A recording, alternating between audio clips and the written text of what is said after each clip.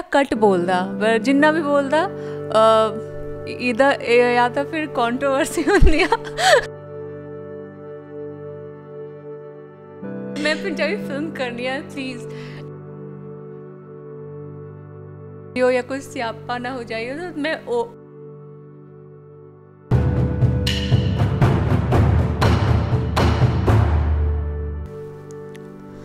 Punjabi front ਵੇਖ ਰਹੇ ਸਾਰੇ ਹੀ ਦਰਸ਼ਕਾਂ ਨੂੰ ਪਿਆਰ ਭਰੀ ਸਤਿ ਸ਼੍ਰੀ ਅਕਾਲ। ਮੈਂ ਪਿੰਕੀ ਚੌਧਰੀ ਤੇ ਹੁਣ ਤੁਹਾਡੇ ਨਾਲ ਰੂਬਰੂ ਕਰਵਾਉਣ ਜਾ ਰਹੀ ਹਾਂ। ਕਦੇ ਹਾਂ ਕਦੇ ਨਾ ਦੀ ਮੇਨ ਲੀਡ ਦੇ ਨਾਲ ਯਾਨੀ ਕਿ ਸੰਜਨਾ ਸਿੰਘ ਦੇ ਨਾਲ। ਸਤਿ ਸ਼੍ਰੀ ਅਕਾਲ ਮੈਮ ਸਤਿ ਸ਼੍ਰੀ ਅਕਾਲ ਸਾਰਿਆਂ ਨੂੰ ਤੁਹਾਨੂੰ ਵੀ। ਕਿਵੇਂ ਮੈਮ ਤੁਸੀਂ? ਮੈਂ ਬਹੁਤ ਵਧੀਆ ਤੁਸੀਂ ਦੱਸੋ? ਬਸ ਬਹੁਤ ਵਧੀਆ। ਪਹਿਲਾਂ ਤਾਂ ਤੁਹਾਡਾ ਬਹੁਤ ਬਹੁਤ ਸਵਾਗਤ ਹੈ ਸਾਡੀ ਪੰਜਾਬੀ ਫਿਲਮ ਇੰਡਸਟਰੀ ਦੇ ਵਿੱਚ। Thank you so much already ਤੁਸੀਂ ਪਾਲੀਵੁੱਡ ਇੰਡਸਟਰੀ ਦੇ ਵਿੱਚ ਬਤੌਰ ਮਾਡਲ ਕੰਮ ਕੀਤਾ ਹੈ ਬਟ ਤੁਸੀਂ ਹੁਣ ਐਜ਼ ਅ ਐਕਟ੍ਰੈਸ ਆ ਰਹੇ ਹੋ ਕਿਵੇਂ ਦਾ ਲੱਗ ਰਿਹਾ? ਜੀ ਪਹਿਲਾਂ ਵੀ ਮੈਂ ਗਾਣੇ ਕੀਤੇ ਹੋਏ ਨੇ ਮੈਂ ਹਰਨੂਰ ਨਾਲ ਗਾਣੇ ਕੀਤੇ ਹੋਏ ਸੀ। ਅਖਿਲ ਨਾਲ ਵੀ ਮੇਰੇ ਕੁਝ ਗਾਣੇ ਆਏ ਹੋਏ ਨੇ। ਬਟ ਮੇਰੀ ਪਹਿਲੀ ਫਿਲਮਾਂ ਐਜ਼ ਐਨ ਐਕਟ੍ਰੈਸ ਜੇ ਤੁਸੀਂ ਕਹੋ ਤੇ ਮੇਰੀ ਪਹਿਲੀ ਫਿਲਮਾਂ ਡੈਬਿਊ ਫਿਲਮਾਂ ਵੱਖਰਾ ਐਕਸਪੀਰੀਅੰਸ ਆ ਬਿਕਾਜ਼ ਗਾਣੇ ਯੂ نو ਗਾਣੇ ਦਾ ਸ਼ੂਟ ਇੱਕ ਦੋ ਦਿਨ ਚ ਮੁੱਕ ਜਾਂਦਾ, ਪਰ ਫਿਲਮ ਲੰਬੀ ਚੱਲਦੀ ਆ, ਮਹੀਨੇ ਮਹੀਨੇ ਬਾਅਦ ਸ਼ੂਟ ਹੁੰਦਾ, ਤੁਸੀਂ ਅਟੈਚਡ ਹੋ ਜਾਂਦੇ ਹੋ ਆਪਣੇ ਕੈਰੈਕਟਰ ਤੋਂ, ਤੁਸੀਂ ਜੀਨੇ ਹੋ ਕੈਰੈਕਟਰ ਨੂੰ। ਫਿਲਮ ਦੀ ਵੱਖਰੀ ਗੱਲ ਆ, ਤਾਂ ਆਬਵੀਅਸਲੀ ਬਹੁਤ ਹੀ ਸਪੈਸ਼ਲ ਆ, ਮੇਰੇ ਲਈ ਮੇਰੀ ਪਹਿਲੀ ਫਿਲਮਾਂ ਡਿਫਰੈਂਟ ਐਕਸਪੀਰੀਅੰਸ ਓਕੇ ਤਾਂ ਫਿਲਮ ਦੇ ਵਿੱਚ ਤੁਸੀਂ ਸਿੰਗਾ ਜੀ ਨਾਲ ਸਕਰੀਨ ਸ਼ੇਅਰ ਕਰ ਰਹੇ ਹੋ ਕਿਵੇਂ ਦਾ ਲੱਗ ਰਿਹਾ ਤੁਹਾਨੂੰ? ਆਬਵੀਅਸਲੀ ਬਹੁਤ ਵਧੀਆ ਲੱਗ ਰਿਹਾ। ਸਿੰਗਾ ਵਧੀਆ ਸਿੰਗਰ ਨੇ। ਨਾਲ ਹੀ ਬਹੁਤ ਹੀ ਵਧੀਆ ਇਨਸਾਨ ਵੀ ਨੇ। Like he is very nice person ਪਹਿਲਾ ਪਹਿਲਾ ਮੈਂ ਥੋੜੀ ਜਿਹੀ ਨਰਵਸ ਸੀ ਬਿਕਾਜ਼ ਮੈਨੂੰ ਪਹਿਲੀ ਵਾਰ ਮੈਂ ਪੰਜਾਬ 'ਚ ਕੰਮ ਕਰ ਰਹੀ ਸੀ, ਮੈਨੂੰ ਲੱਗਾ ਪਤਾ ਨਹੀਂ ਕਿਵੇਂ ਇਹਦਾ ਐਕਸਪੀਰੀਅੰਸ ਰਹੂਗਾ, ਕੋਈ ਕੁਝ ਕਹਿ ਨਾ ਦੇਵੇ ਹੈ ਨਾ ਬਟ ਜਦੋਂ ਮੈਂ ਸੈੱਟ ਤੇ ਪਹੁੰਚੀ ਸ਼ੂਟ ਸਟਾਰਟ ਕੀਤਾ ਨਾਟ ਓਨਲੀ ਸਿੰਗਾ ਲਾਈਕ ਸਾਰੀ ਟੀਮ ਬਹੁਤ ਹੀ ਵਧੀਆ ਸੀ। They all made me feel like home director producer ਸਾਡੇ ਤੇ obviously Singga like yeah it was really good experience ਜਿਵੇਂ ਤੁਸੀਂ ਹੁਣ ਗੱਲ ਕਰ ਹੀ ਰਹੇ ਹੋ ਡਾਇਰੈਕਟਰ ਪ੍ਰੋਡਿਊਸਰ ਤੇ ਬਾਕੀ ਸਾਰੀ ਟੀਮ ਦੀ ਤਾਂ ਉਹਨਾਂ ਬਾਰੇ ਇੱਕ ਇੱਕ ਲਾਈਨ ਹੋ ਜਵੇ ਤੁਸੀਂ ਇੱਕ ਸਪੈਸੀਫਿਕ ਲਾਈਨ ਕੀ ਕਿਸ ਬੰਦੇ ਨੂੰ ਕੀ ਕਹੋਗੇ ਤੁਸੀਂ? ਤੁਸੀਂ ਪੁੱਛੋ ਵਾਰੀ ਵਾਰੀ। ਚਲੋ ਆਪਾਂ ਸਟਾਰਟ ਕਰਦੇ ਹਾਂ ਡਾਇਰੈਕਟਰ ਤੋਂ। Very calm compose patience okay producer film ਦੇ ਪ੍ਰੋਡਿਊਸਰ ਫਿਲਮ ਦੇ ਪ੍ਰੋਡਿਊਸਰ ਸਾਡੇ ਪ੍ਰੇਰਣਾ ਮੈਮ ਹੈਗੇ। तो like I will describe her as a like strong personality. Yeah, she's very strong woman. Okay. Co-actor Singa. ਸਿੰਗਾ ਸਿੰਗਾ ਬੋਲਦਾ ਸੱਚ ਬੋਲਣਾ ਹੈ ਸਿੰਗਾ ਬੋਲਦਾ ਪਰ ਸਿੰਗਾ ਕੱਟ ਬੋਲਦਾ ਪਰ ਜਿੰਨਾ ਵੀ ਬੋਲਦਾ ਇਹਦਾ ਜਾਂ ਤਾਂ ਫਿਰ ਕੰਟਰੋਵਰਸੀ ਹੁੰਦੀ ਆ ਨਹੀਂ ਤਾਂ ਫਿਰ ਠੀਕ ਆ ਨਹੀਂ ਇਨਸਾਨ ਵਧੀਆ ਲਾਈਕ ਨਾਈਸ ਪਰਸਨ ਆ ਨਿਰਮਲ ਰਿਸ਼ੀ ਮੈਮ ਉਹ ਨਿਰਮਲ ਰਿਸ਼ੀ ਮੈਮ ਓਕੇ ਉਹ ਤਾਂ ਲੈਜੈਂਡ ਆ ਮੈਂ ਕੀ ਮੈਂ ਕੀ ਦੱਸਾਂ ਉਹਨਾਂ ਦੇ ਬਾਰੇ? ਲਾਈਕ ਬਟ ਜਿੰਨਾ ਵੀ ਸੈੱਟ ਤੇ ਅਸੀਂ ਸਾਡਾ ਸੀਨ ਵੀ ਹੈਗਾ like I'm really blessed Nirmal Rishi ma'am I would say she is she has that aura, you know? ਪਹਿਲਾ ਪਹਿਲਾ ਮੈਨੂੰ ਡਰ ਲੱਗ ਰਿਹਾ ਸੀ ਉਹਨਾਂ because she has that aura, you know? the ਜੋ ਤੁਸੀਂ ਸੀਨੀਅਰ ਹੁੰਦੇ ਹੋ, ਇੱਕ ਰਿਸਪੈਕਟ ਇੱਕ like I was like very nervous when I was doing the scene with her Nirmal Rishi ma'am is like I would say a respected lady and very good, good, very good actress, legend. Yeah. Okay, B.N. Sharma ji. Uh, again legend.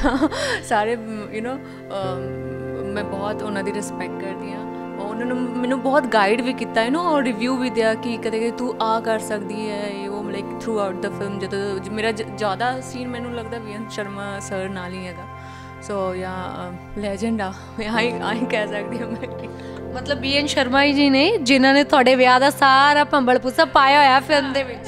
ਸਹੀ ਸਹੀ ਗੱਲ ਆ। Okay Sumit ਗੁਲਾਟੇ ਜੀ।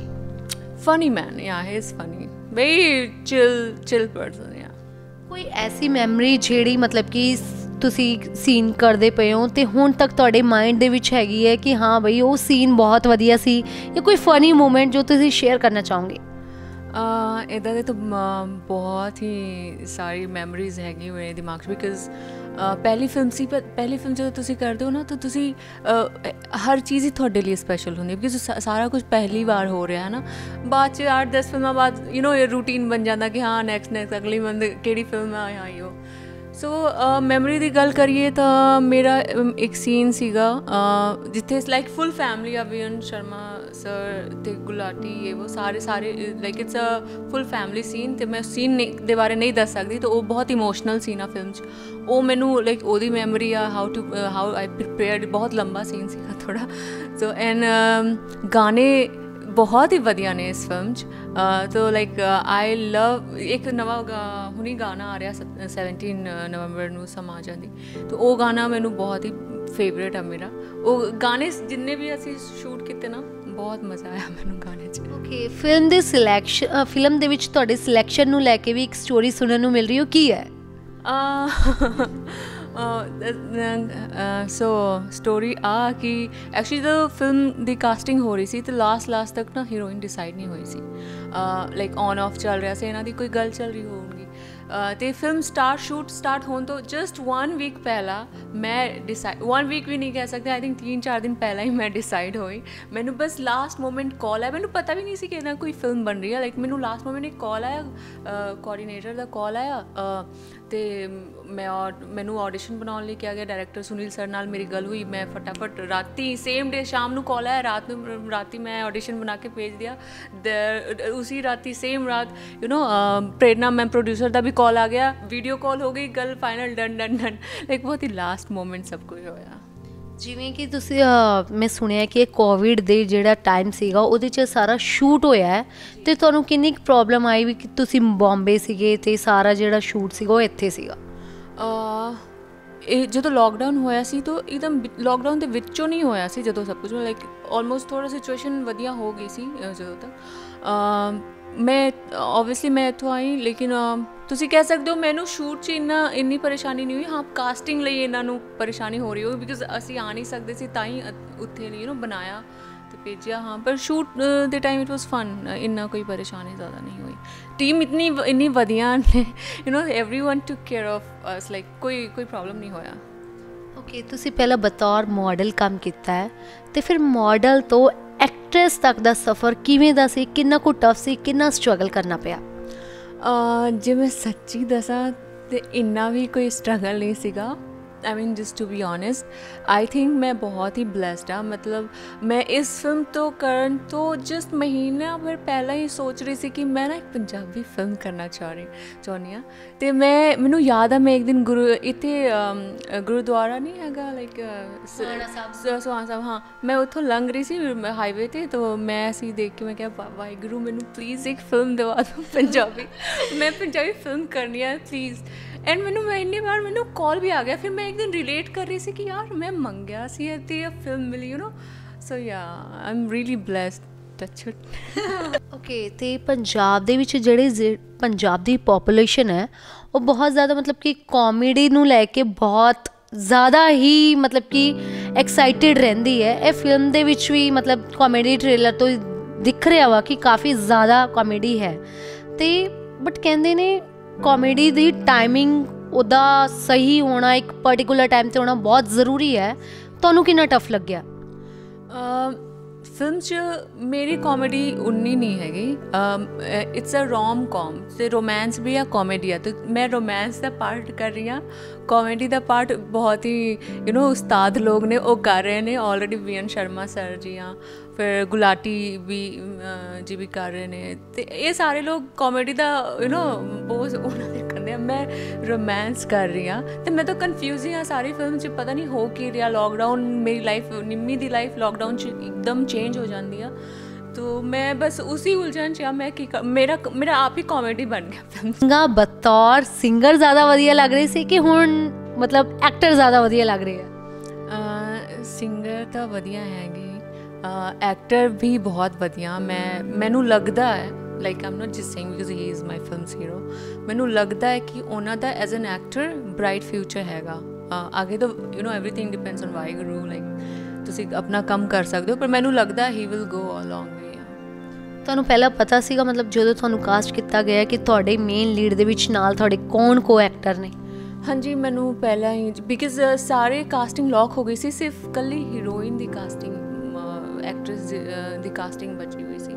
ਤੇ ਮੈਨੂੰ ਤਾਂ ਕਰਕੇ ਪਤਾ ਸੀ ਕਿ ਯੂ نو ਮੇਰੇ ਕੋਲ ਪੂਰਾ ਲਿਸਟ ਆ ਗਿਆ ਸੀ ਕਿ ਕਿਹੜਾ ਕਿਹੜਾ ਰੋਲ ਕੌਣ ਕਰ ਰਿਹਾ ਤਾਂ ਹੀ ਆਈ ਵਾਸ ਸੋ ਐਕਸਾਈਟਿਡ ਟੂ ਕਿ ਮੈਂ ਸੇਮ ਹੀ ਇਹ ਆਡੀਸ਼ਨ ਬਣਾ ਕੇ ਭੇਜ ਦਿਆ ਬਿਕਾਜ਼ ਸਾਰੇ ਸੀਨੀਅਰ ਆਰਟਿਸਟ ਨੇ ਫਿਲਮ 'ਚ।